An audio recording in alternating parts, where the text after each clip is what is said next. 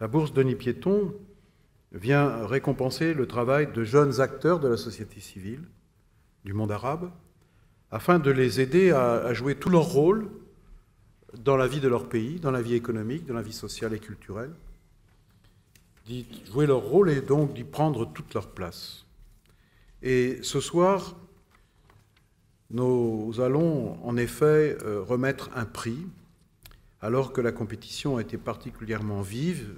Je crois qu'il y avait 24 projets, 24 candidats ou candidates, et l'un d'entre eux a été euh, retenu pour cette bourse. J'ai la conviction que cette bourse maintiendra vivant le souvenir de Denis, ses valeurs, son engagement et les principes qui ont guidé sa vie.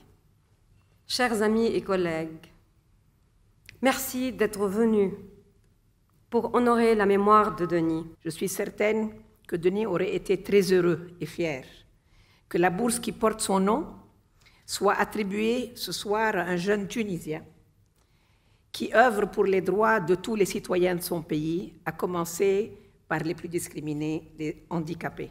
Les projets soutenus cette année par Saphir Lab répondent une fois de plus à cette ambition. Il confirme combien il est légitime de faire confiance aux sociétés pour porter le changement, combien il importe d'accompagner dans les dynamiques de modernisation celles et ceux qui opposent leur énergie aux tentations autoritaires, combien parier sur l'imagination, enfin, peut être gagnant face aux risques de fossilisation et de repli.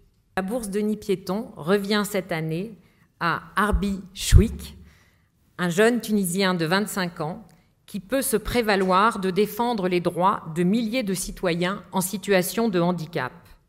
Nous vous félicitons, cher Arbi, pour l'obtention de cette bourse qui récompense votre engagement. Ceci est le jour de la récompense d'un rêve légitime pour chaque personne qui veut vivre dans un endroit pour toutes et pour tous, dans un endroit qui respecte la diversité humaine dans un endroit, autrement dit, accessible.